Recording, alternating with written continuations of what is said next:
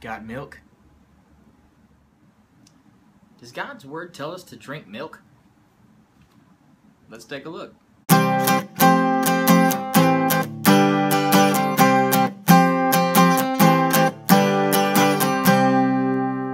Hello and welcome to this week's episode of the Video Worship Guide. I am Pastor Mark. Thanks for making this a part of your weekly routine as we abide in God's Word and grow in our faith together.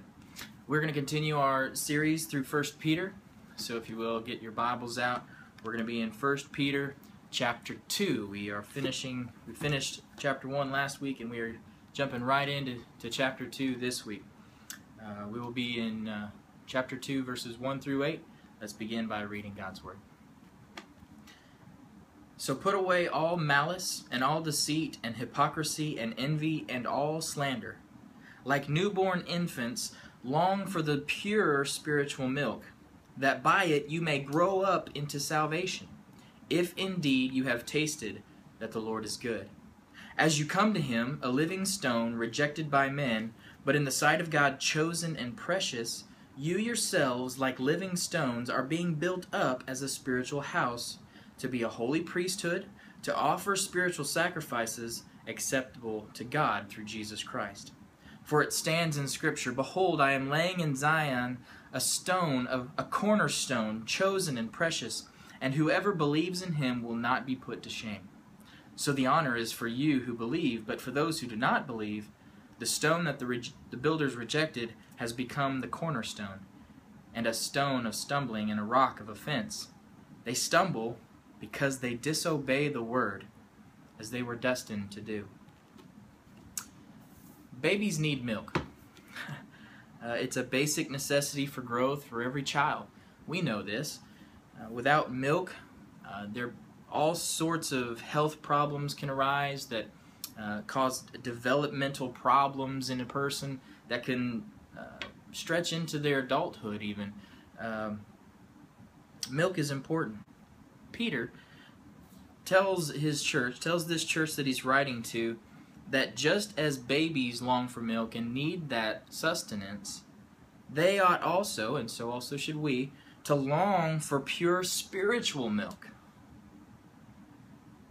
What is this spiritual milk? Is God, is Peter telling him, "Hey, there's a there's a pure kind of milk out there, and if you find it, it's very spiritual, and if you drink it, all your problems will go away, and you'll grow up into maturity, and everything will be great."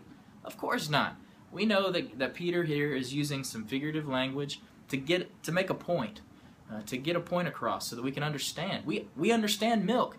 We understand that babies need milk. We understand that in order to grow, milk is a vital part of that process. So, what is this spiritual milk then? Well, it's what we talked about there at the end of chapter 1 and what, what we even talked about here in, in this passage uh, between verses 1 and 8. Uh, it's it's talking about God's Word.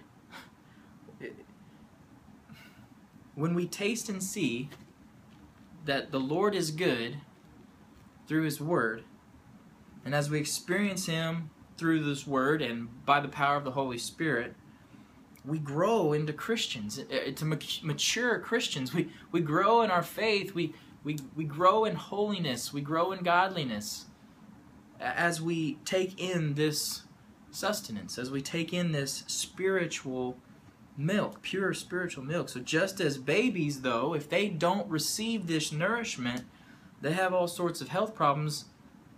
So then we, if we are not taking in this daily nourishment, we'll have all sorts of spiritual health problems. And if we don't deal with them soon, they can have major effects in our lives. So basically, what Peter is telling these people and us now today is he's saying it's time to grow up. Take in the daily sustenance you need. Take in the pure spiritual milk. Long for it, just as a baby longs for milk. Are you longing for and receiving your daily sustenance from God's Word? What need here here's where the rub comes. What needs to be cut out of your life? What needs to be cut out of my life to make sure that I am getting the time I need to receive the nourishment from God's word? What is that thing for you? Maybe it's TV. Maybe it's getting up a little bit earlier, a little less sleep. Whatever it might be, what is it that you need to cut out and replace with time in God's Word? Our memory verse is 1 Peter 4:19. Therefore, let those who suffer according to God's will entrust their souls to a faithful creator while doing good. Let's pray. Father God, I thank you for the pure spiritual milk of your word. I thank you that you have given us all we need for life and godliness, to sustain us, to nourish us, to grow in maturity as followers of you.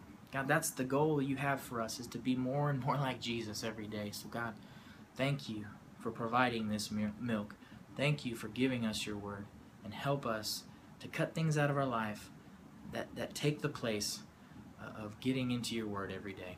We love you. We thank you for your grace and mercy and love. In Jesus' name, amen. Thanks for joining us this week.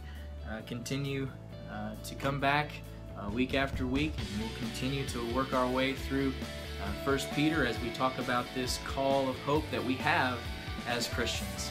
We'll see you next time.